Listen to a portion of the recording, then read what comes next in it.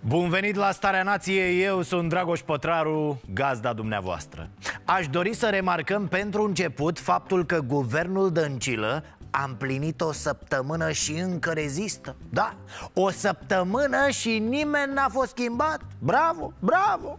Asta nu înseamnă că nu există deja crize de nervi și presiuni interne în PSD din cauza unor miniștri. Tipul de la economie, cel puțin, Dănuța Andrușcă pe numele lui A stârnit o groază de pasiuni prin partid. Îl mai știți pe Andrușcă, nu? Mă scuzați, sunt foarte emoționat Un rol uh, important va avea pentru, în cadrul economiei, ca eco... îmi cer scuze că sunt emoționat. Când aveți de gând să aprobați legea redevențelor? Dar lăsați foaia aia și ziceți așa, când? Mulțumesc, vă rog. La, Vă rog. la sfârșitul lui februarie, noi uh, sperăm că legea va fi adoptată. Asta e imposibil. E imposibil. Trimise, Mai, trimise către guvern, îmi cer scuze că... nu, po- către Parlament poate. Pe bune acum, cum să-l pui pe ăsta ministru?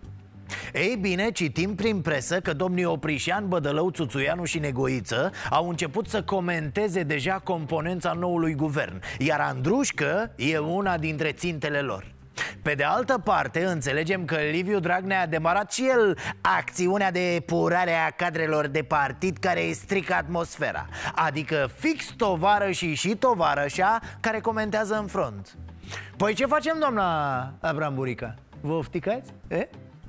S-a supărat Dedi, feriți-vă că scoate mitraliera la propriu Deci nu mă refer la deputatul Rădulescu Liviu Dragnea, dacă va beneficia de o majoritate în partid, cu siguranță îl va executa pe Nicolae Bădărău. Pe lista neagră a intrat totodată și secretarul general adjunct al PSD, Codrin Ștefănescu, cel care l-a înfruntat uh, deschis și direct pe Dragnea în ultimul comitet executiv al PSD.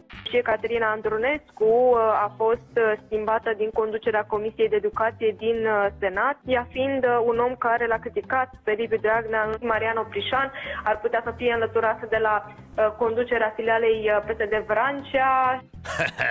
Hamsterul nu uită și nu iartă. El are nevoie de liniște, nu mai suportă gălăgia asta. De ce credeți că a pus-o pe tanti Viorica la guvern? E ascultătoare, civilizată, plăcută, rezonabilă, neconflictuală. Nu se supără, unde o așeze acolo? Stă. O bagi într-un ghiveci, mai torn puțină apă. Dai cu un fixativ pe...